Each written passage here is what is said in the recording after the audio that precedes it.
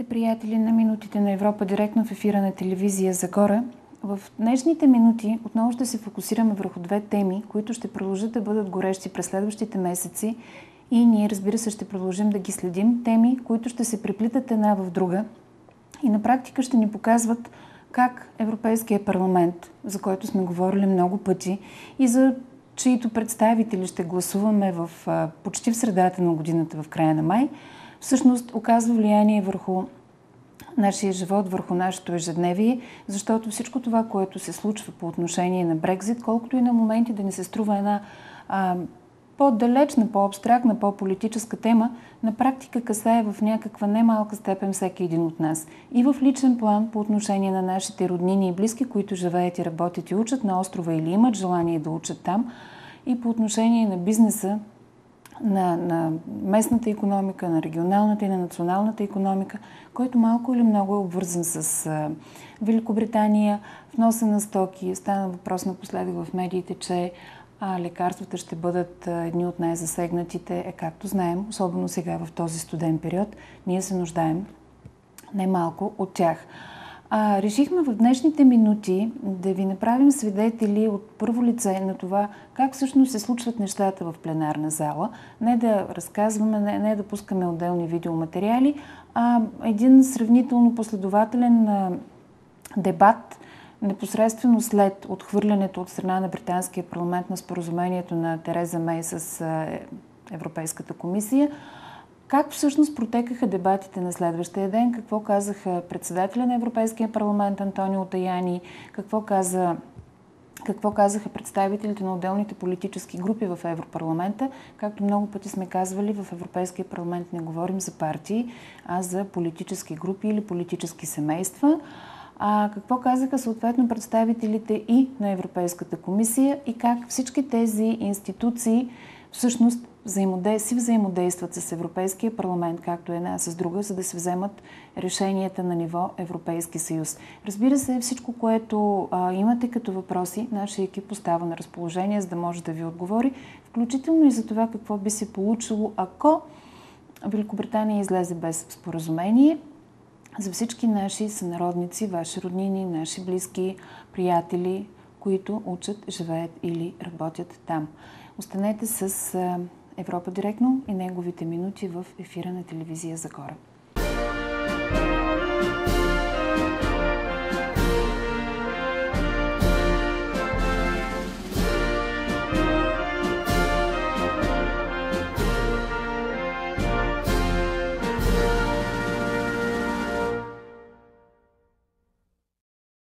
Вчера британският парламент с голямо мнозинство гласува против договора за оттегляне на Обединеното кралство от Европейския съюз.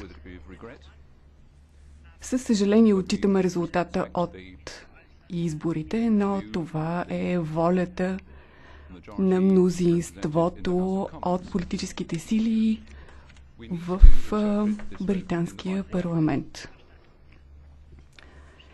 Трябва да разбираме положението правилно. Политическите сили гласували против, имат различни мотиви. Някои от тях са против защитния механизъм за ирландската граница, други са против излизането на Обединеното кралство и искат митнически съюз с Европейския съюз. Все още няма яснота и излизането на Обединеното кралство се доближава до а, излизането без а, без договор, но тази ситуация още не е настъпила. Има различни положителни а, тенденции. Някои а, са за а, намирането на решение за оставане, други са за напускането, възможно най-скоро на Великобритания на Европейския съюз. Ние от наша страна сме готови да работим за бъдещите си взаимоотношения с Обединеното кралство. Британското правителство ще трябва да промени своите червени линии. Ние сме отворени за преговори Имаме доверие на нашия главен преговарящ Мишел Бърния, който до сега много умело води преговорите с Обединеното кралство.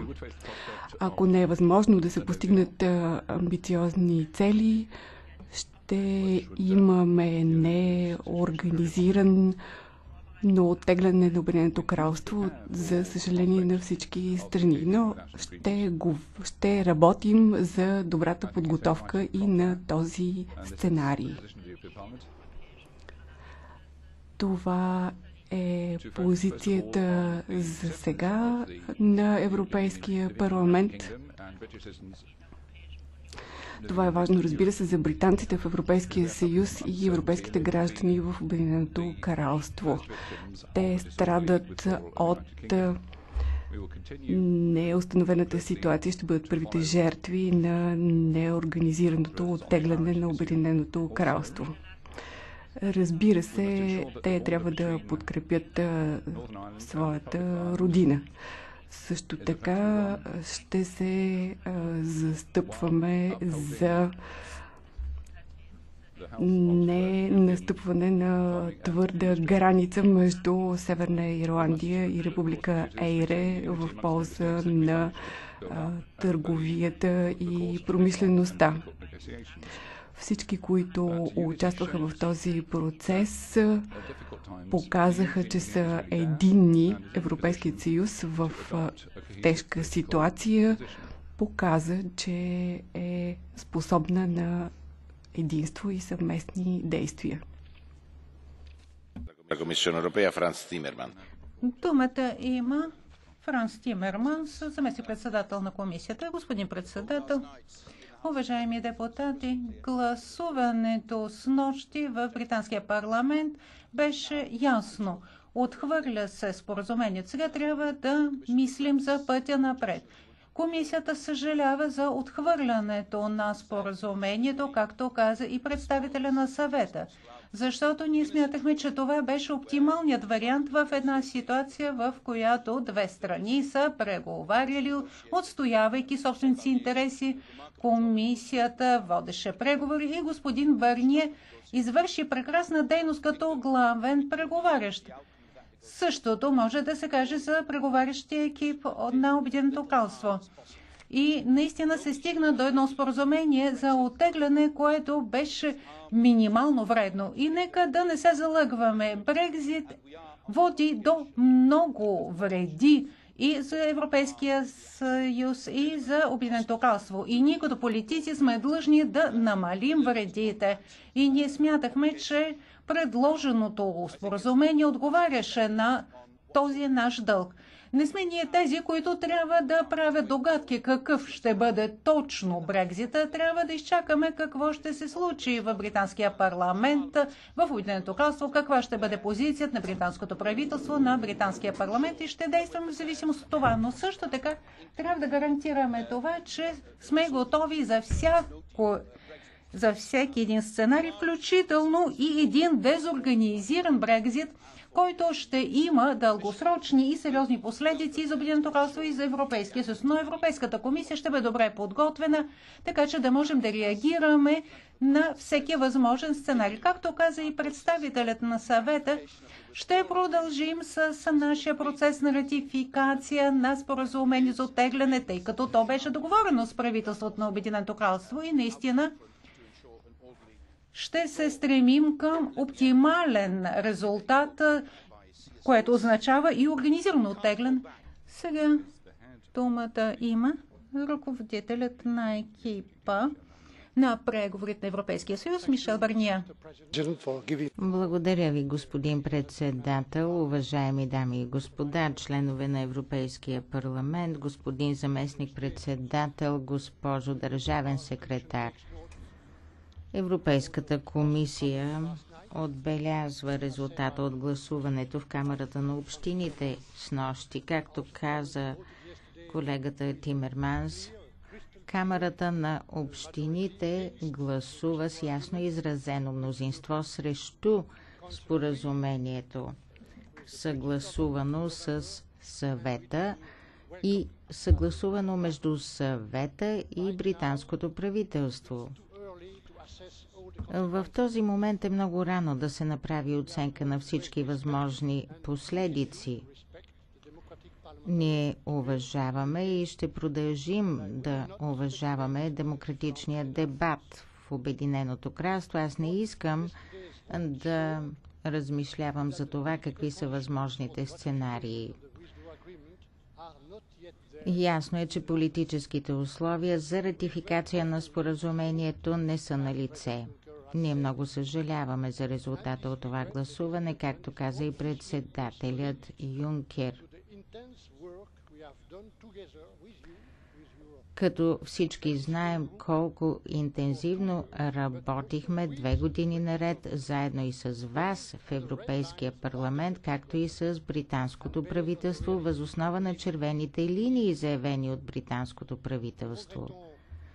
Ние много съжаляваме за резултата от гласуването, защото това споразумение за оттегляне беше съставено заедно с британското правителство на една обективна основа, като се отчитаха изискванията да няма граница на Ирландския остров, да се въведат съответните улеснителни митнически механизми. Освен това, искахме това да бъде основата за бъдещо споразумение с британското правителство, което да прави Обединеното кралство възможно най-близко до Европейския съюз.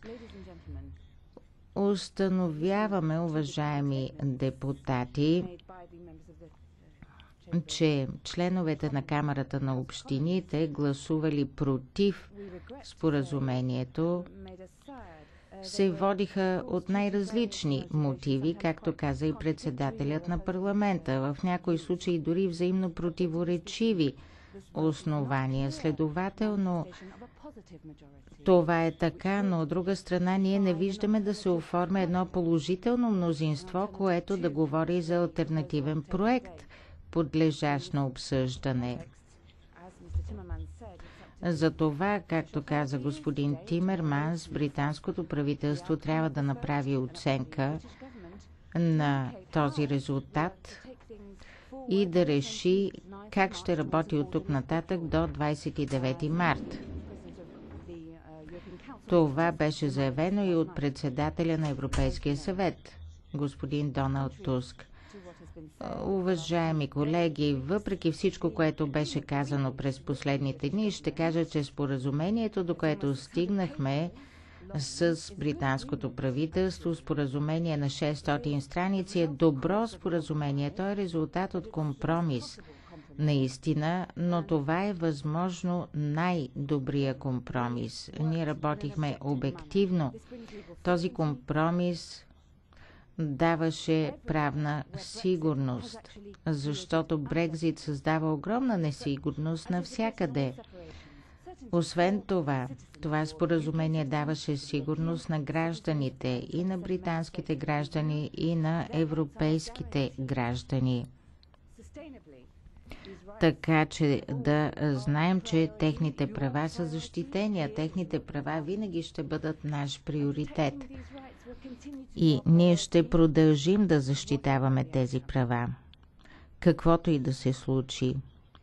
Също така даваше сигурност на обществения и частния сектор, защото в крайна сметка бюджетите на държавите членки, а и на Обединеното кралство оставаха непроменени благодарение на споразумението. Създаваше се стабилност – за Ирландия и за Северна Ирландия чрез избягването на охраняема граница между двете държави. Освен това се спазваха принципите на единия пазар, но и също така принципите на споразумението от разпети петък, което ние ще защитаваме. Тази гаранция за Северна Ирландия трябва да се запази. Предпазният механизъм е предпазен механизъм и той трябва да бъде защитен. Споразумението даваше също така сигурности на администрацията, защото се предвиждаше преходен период. Всъщност единственото правно основание за този преходен период е това споразумение. Компромисът също така даваше възможност не само за преходен период, но също така и допълнително договаряне, защото въз основа на политическите изявления ние сме работили и всъщност има различни опции, които остават отворени и могат да бъдат проучени. Но нека ви напомня, че поради всички тези причини това споразумение трябва да бъде ратифицирано, защото то създава доверие между нас и задава перспективи за втория етап на преговори и оформяне на бъдещите ни отношения.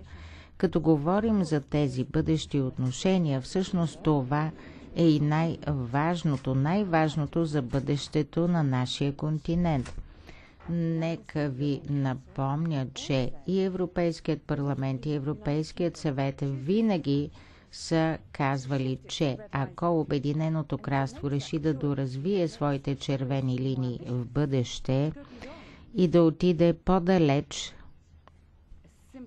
от едно най-просто споразумение за свободна търговия, не че това би било малко, то ние ще бъдем готови да откликнем благосклонно. Когато говоря за бъдещето, аз нямам предвид само търговските отношения, които разбира се са много важни за растежа и заетостта и при нас. Аз имам предвид и е, всички отрасли, по които работят комисиите във вашия парламент. Научното развитие, риболова, авиацията, транспорта и много други области. Ще спомена и полицейското сътрудничество, съдебното сътрудничество след Брекзит. От това зависи и стабилността на нашия континент, сигурността, тъй като Обединеното кралство е голяма държава, член на съвета за сигурност на ОНЕ и ще остане наш партньор по всички проекти за сътрудничество и в областта на отбраната включително. 18 месеца работихме заедно. Същевременно във всеки ключов момент ние сме разговаряли с британското правителство, с съвета, с вас в Европейския парламент. Необходимо е да се намери изход от тази задънена улица. Необходимо е същевременно да има подкрепа от британското мнозинство в парламента. В противен случай ние няма как да напреднем. За това и трябва да се подготвим, но ни трябва индикация от британското правителство.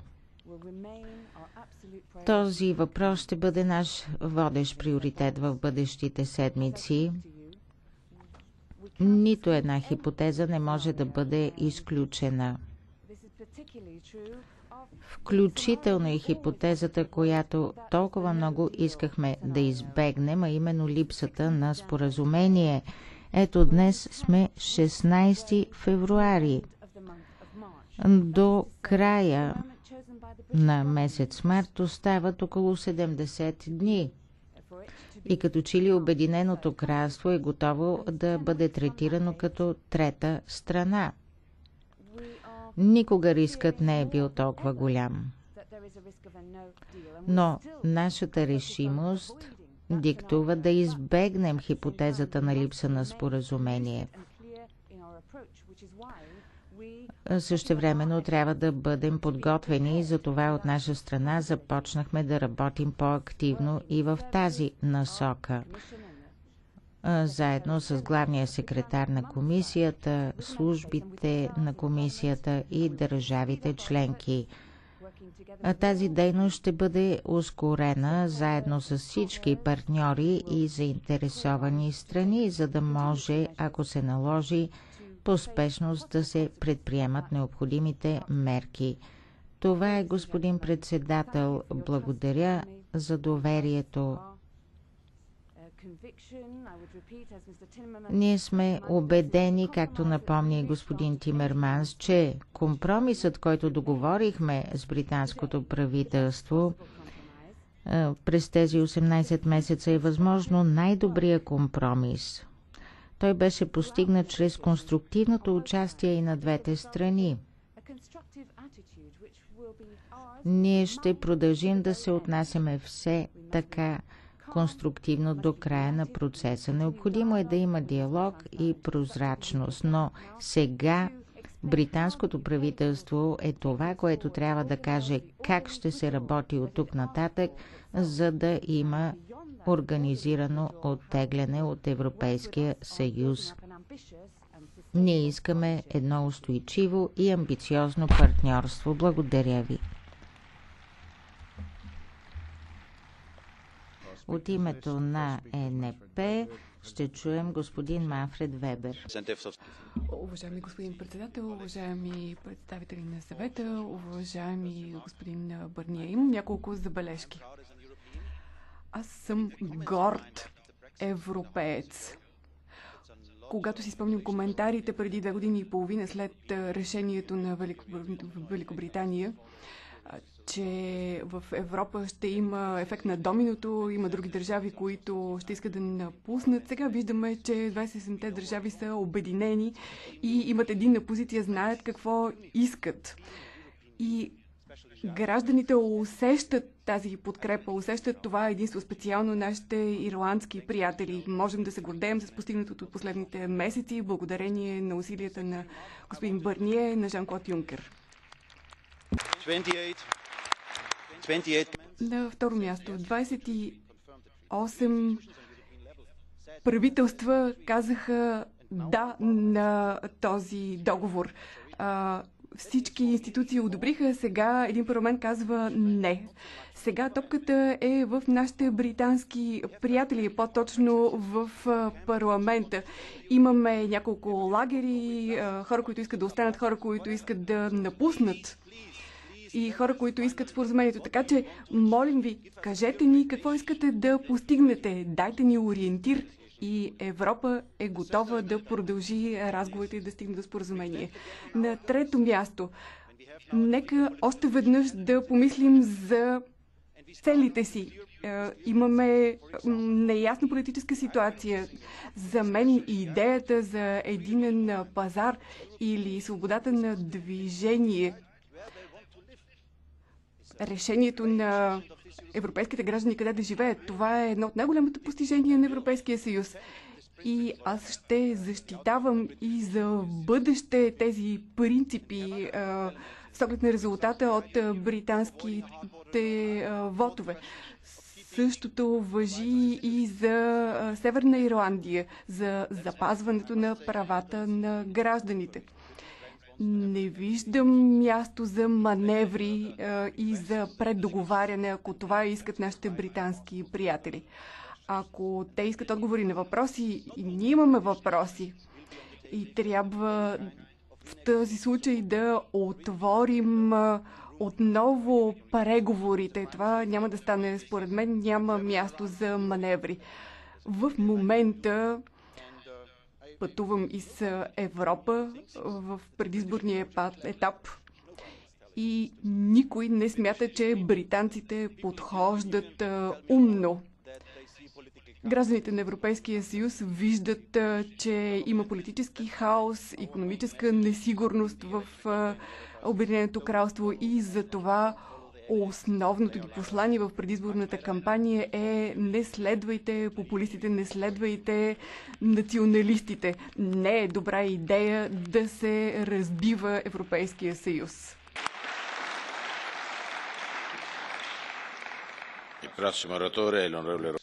Следващият оратор Роберто Гуалтиери от името на Прогресивния алианс на стилисти Заповядайте. Благодаря, господин председател. След два месеца отлагания сега вече знаем каква е позицията на британския парламент. Огромно мнозинство гласува против споразумението за отегляне политическата декларация. Това е историческо поражение за правителството на консерваторите и Тереза Мей. Знаем какво не иска британския парламент, но 70 дни преди деня на отеглянето не знаем какво иска британския парламент. Парламентът също така ясно заяви, че отхвърля сценария без споразумение. Това е положително, защото това би бил най-лошият вариант за всички, най-вече за Обединеното кралство. Ние нямаме намерение да разводняваме споразумението за отеглянето и няма да поставим под съмнение защитния механизъм. Избягването на твърдата граница и спасяването на целостността на единия пазар не са неща, по които ще преговаряме. Защитата на правата на гражданите на Европейския съюз винаги са били наш приоритет по време на преговорите и сме готови да приемем всяко решение, което гарантира техните права. Запазването на нашите високи стандарти в областта на труда, опазването на околната среда, социалните права, нито един от нашите приоритети не може да бъде поставен под съмнение. И искаме да се избегнат каквито да било изкушения за двустранни споразумения, които няма да бъдат благоприятни за която и да била от двете страни. Европейските институции, Европейският парламент – продължава да подкрепя нашият главен преговарящ. Ние сме едини и ви подкрепяме, Мишел. И какво предстои? Имаме нужда от положително мнозинство в Обединеното кралство. Имаме нужда ясна посока и капацитет за изпълнение на поетите ангажименти. Видяхме с нощи в резултат от гласуването, че това не е така. Видяхме, че няма капацитет за предлагане на резултати по най-важния въпрос за държавата. Или трябва да има едно положително мнозинство, силно мнозинство за Брекзит, или трябва да се постави отново въпроса пред народа на Обединеното кралство. Трябва да преосмисля Обединеното кралство своите преговорни позиции. Винаги имаше варианти за митнически съюз и други варианти. Винаги твърдите позиции на Обединеното кралство правиха споразумението по тези въпроси невъзможно. Ние сме готови да водим конструктивен диалог, като изцяло зачитаме нашите насоки при преговорите и принципните ни позиции. Винаги сме казвали, че ще се отнесем с уважение към резултата от референдума, но ние смятаме, че Брекзит е една историческа грешка, която влушава ситуацията на Народно Обединеното кралство. Член 50 гласи, че решението може да бъде отменено. И може би моментът сега е подходящ хората да могат да се произнесат в нови избори или при един нов референдум. Group Нашата група е наясно, че ако е необходимо да се удължи срока на процедурите по член 50, за да може да се гарантира един от тези два варианта, ние няма да възразяваме. Но всяко такова удължаване трябва да се извършва с ясна цел, а не просто да се губи време.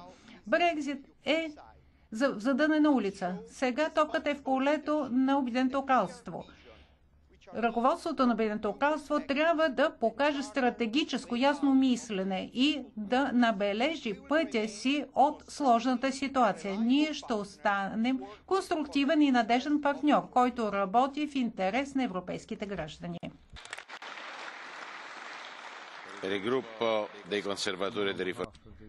За групата на европейските консерватори и реформисти, господин Камал. Благодаря ви, господин председател, господин Бърния и господин Тимерманс. Първо искам да благодаря на господин Бърния и господин Тимерманс за речите тази сутрин. Мисля, че те бяха много обективни.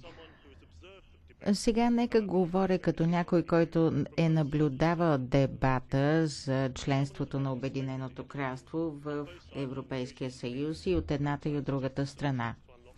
От време на време съм предлагал и решения на някои от тези трудни проблеми.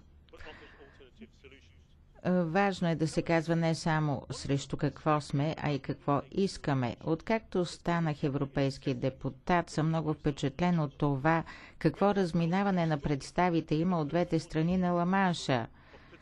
Всъщност, от една страна имаме интеграцията след Втората световна война, но през последните 10 години политическата класа в британското общество често вижда Европейския съюз като нещо, което не е за интеграцията обратното, но политиката зависи от обществените представи. Когато сме тук в Европа е ясно каква е целта на Европа. Но Всъщност, когато отида в Обединеното кралство, се казва, че кралството ще бъде наказано от Европейския съюз, защото той не иска и други държави да излязат. Много е важно да има споразумение, но също така е важно това споразумение да спре останалите държави членки, така че те да не напуснат Съюза. Беше ми казано, че са направени компромиси. Някой обаче се притеснява, че един такъв предпазен механизъм за Ирландия дава нелоялни конкурентни предимства на европейските компании. От друга страна има притеснение, че Обединеното кралство няма да може да сключва търговски споразумения с други страни.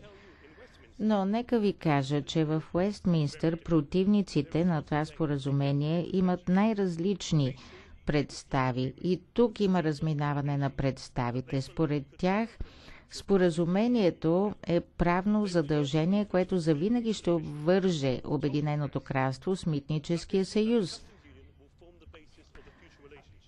а не самия текст. Не той ги води, защото в текста ясно се казва, че Митническия съюз е само основата за разработване на бъдещи отношения. Има притеснения в Великобритания – че чрез този предпазен механизъм кралството за винаги ще бъде принудено да остане в митническия съюз. И това е малко като песента Хотел Калифорния. Можеш да отидеш там много пъти, но никога не можеш да си тръгнеш. От друга страна, ние трябва да мислим за споразумението от разпети петък, ирландските националистически общности. Има дори и такива хора, които казват защо ни е това споразумение, след като се обеща, че няма да има охраняема граница. Има хора, които са убедени, че липсата на споразумение е по-добра от това да има лошо споразумение. Същевременно лейбаристската партия, която е официалната опозиция, се възползва от всеки възможен момент, за да затвърди собствените си позиции. Видяхте какво поискаха с нощи.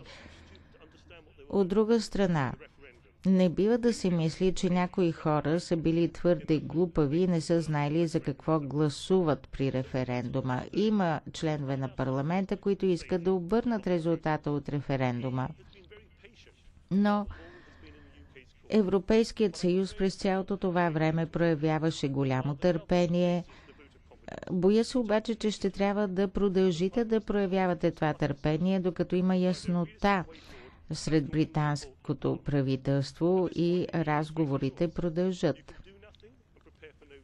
От една страна, може нищо да не се направи, да има подготовка за липса на споразумение, от друга страна да се работи за споразумение – Хубаво е да убедите британските депутати, че вие нямате намерение за винаги да задържите британското правителство в Митническия съюз.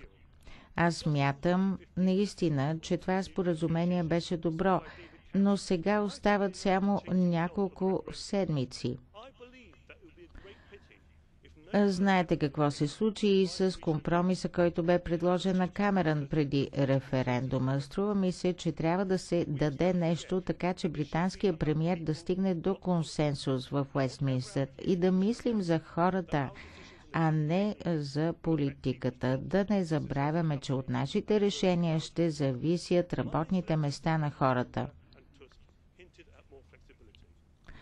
Имаше изявления от страна на председателя Юнкер и на Туск, които намекват за възможна по-голяма гъвкавост. Нека се надяваме, че тя ще бъде проявена, ще се стигне до консенсус и едва тогава ще можем да започнем да обсъждаме бъдещите си отношения.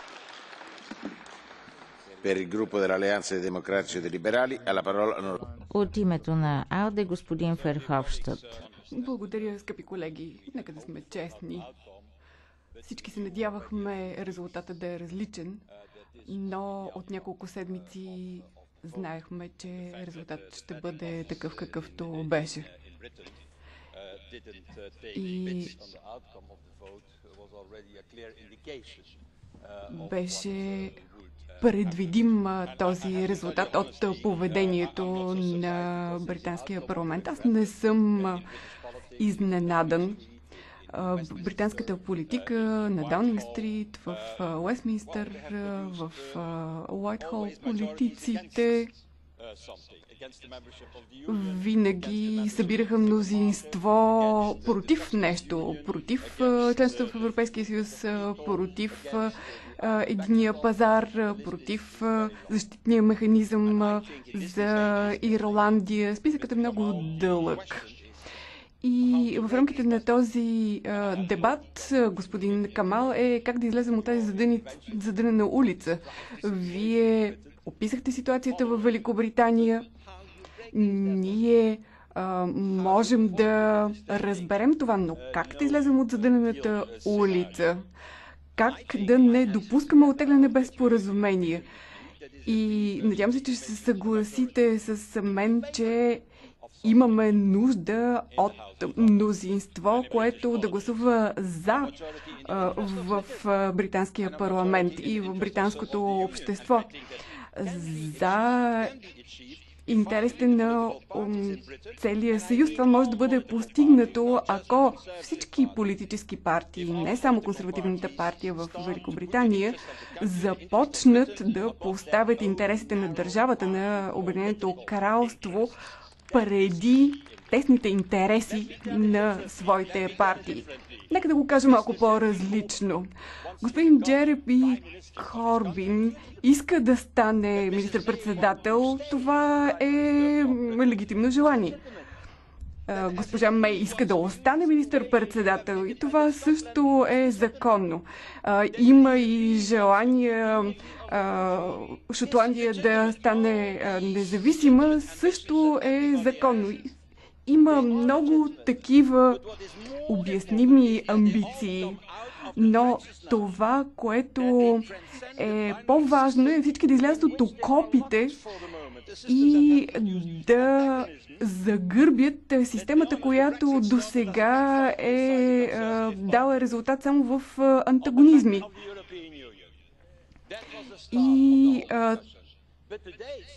вътрешнопартийните интереси на консервативната партия, това беше спор на гърба на Европейския съюз, но в момента проблемът е екзистенциален за Великобритания и за нейното бъдеще.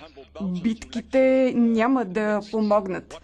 Аз като белгиец няма да получавам а, Обединеното кралство какво да предприеме в политически план, но смятам, че е време да кажем на нашите британски приятели, че за бъдещето на Великобритания е изключително важно да има сътрудничество между партиите, така както ние го правим в Европейския парламент. Трябва да има нови взаимоотношения между Великобритания и Европейския съюз. И тук трябва да се намерят действително принципните позиции а, и а, те да бъдат различни от твърдите позиции на консервативната партия. Ние сме готови за бъдещо задълбочено партньорство, дори по-задълбочено от онова, което предвижда споразумението, договорено от Мишел в Камерата на общините има сили, които са готови на такова задълбочено сътрудничество. Ние бихме се ангажирали с това, но ще отправя два предупреждения. Независимо дали ще се отегли Обединеното кралство с или без споразумение, за европейската политика също е важен този момент, така че ако Обединеното кралство иска да продължи действието на член 50, това ще означава, че а, ще влезем в изборния период на европейския, европейските институции.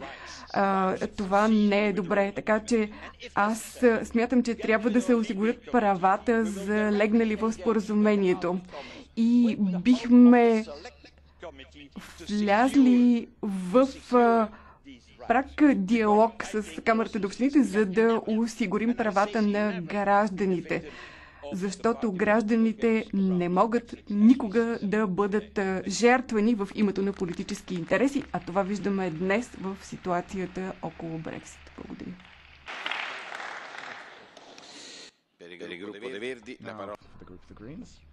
От името на зелените господин Ламберт. Благодаря, господин председател. Уважаеми колеги, това, което видяхме вчера, беше една немислима коалиция на депутатите в британския парламент, които по различни причини масово гласуваха срещу нещо. А това нещо беше споразумение за оттегляне, което отчиташе първо правните ограничения, зададени от мирното споразумение за Ирландия. Нека да забравяме, че това е мирно споразумение. Второ, принципните позиции, формулирани от самото британско правителство. И трето, самите основи на Европейския съюз.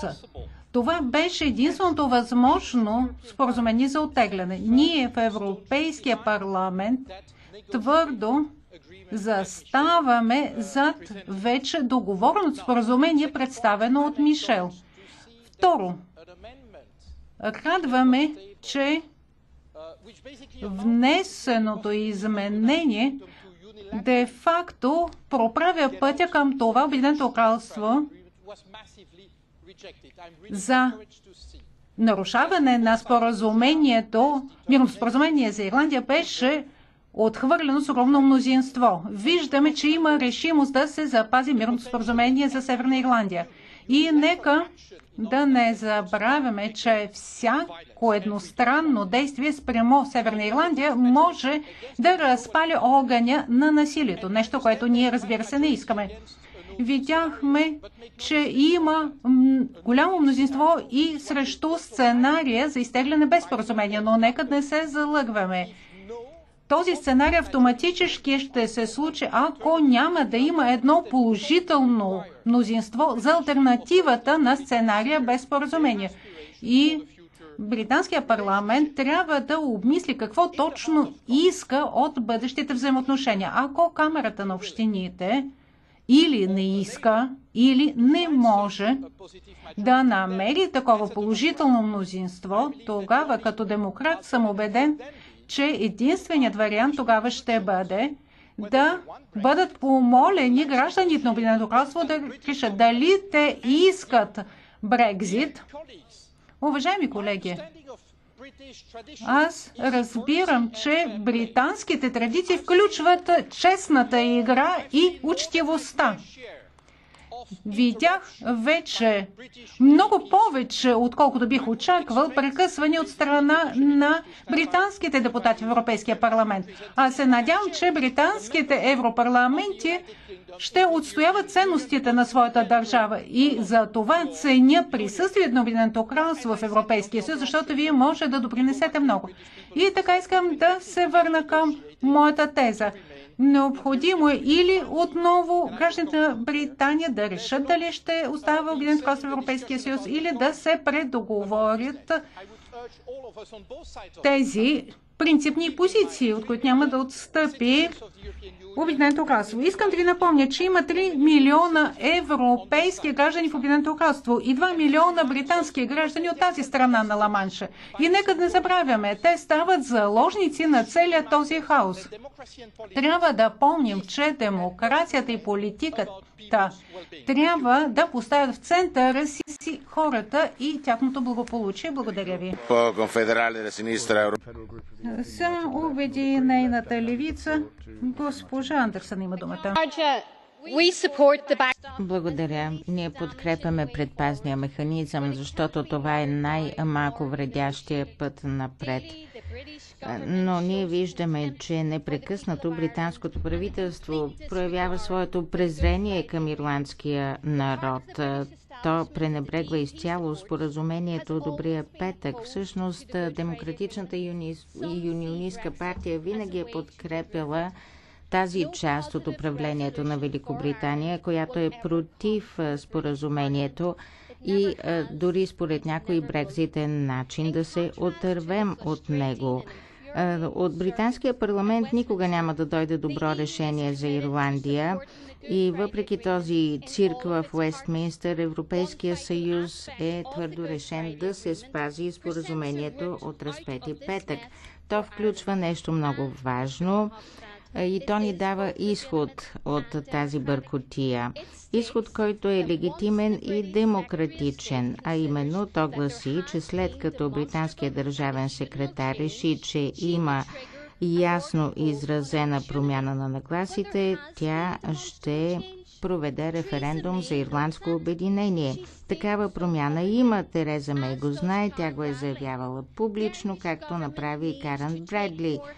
Ирландското правителство трябва да има предвид изявлението на Европейския съвет от април 2017 година, когато се каза, че при успешен демократичен вод за ирландско обединение, северната част от Ирландия ще си остане част от Европейския съюз.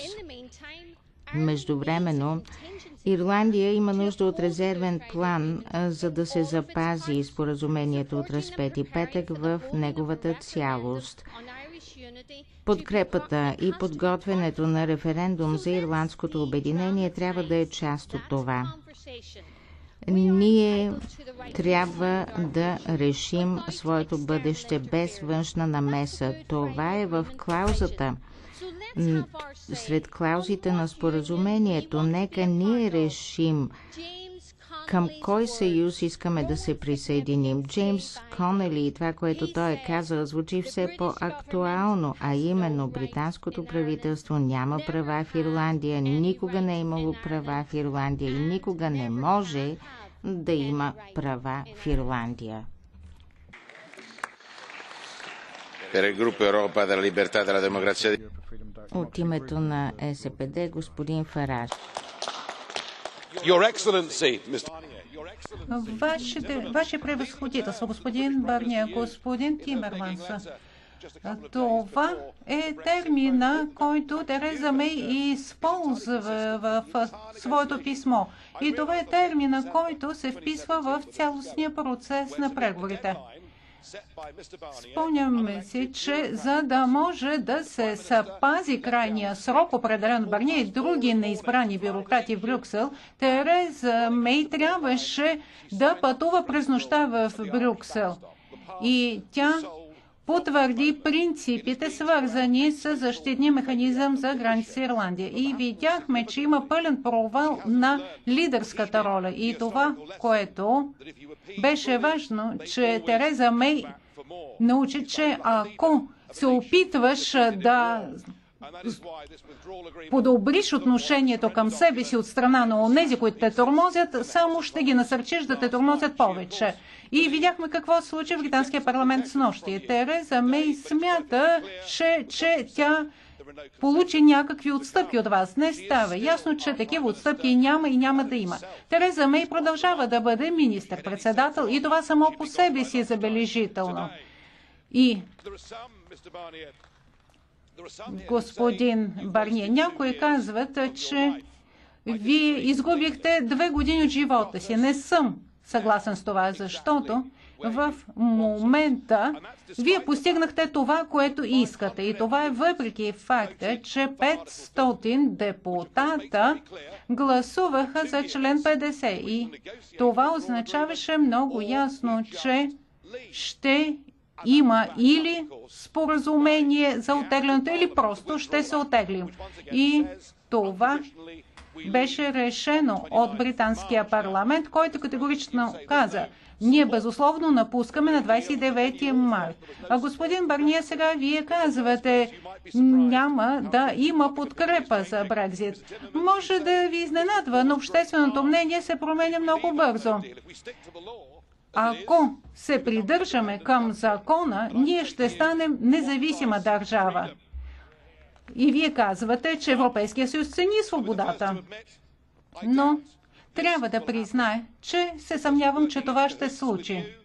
Защото, така както ви познавам и както познавам други хора, като Тони Блер и много хора във върхушката на Обединеното кралство, които не искат Брекзит. Видяхме какво случи с Дания, с Ирландия. Видяхме как хората гласуваха против и какво случи, когато те гласуваха против.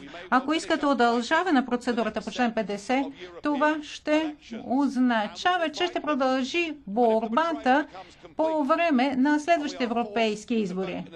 И ако ще бъдем принудени да гласуваме на втори референдум, очаквайте голяма изненада. Британците изглеждат небрежни, безгрижни хора, но Искам да ви кажа, че ние ще бъдем още по-непокорни, ако има втори референдум. И ще го спечелим с още по-голямо мнозинство.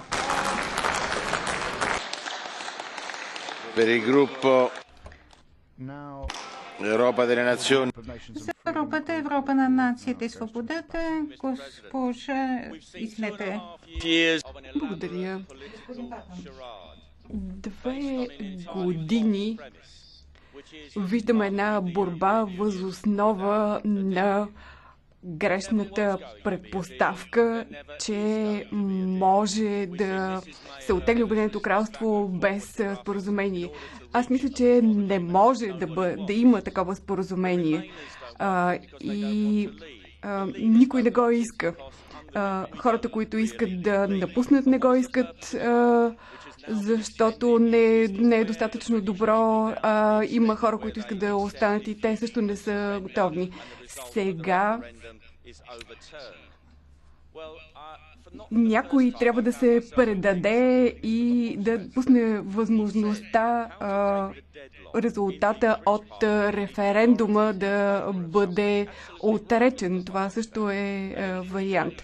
Господин Верховстат е прав, че госпожа Мей след три дни трябва да представи плен, план Б. Това може да означава, че Обединеното кралство ще се оттегли така, както то реши и ще се откаже от хилядите закони и ще ги преобразува спрямо собствените си цели и интереси. Госпожа Мей трябва да се оттегли и да дойде на власт министър-председател, който действително иска да напусне Европейския съюз. Но ако Обединеното кралство сега се отрече от резултата от референдума, може да създаде още повече разединение.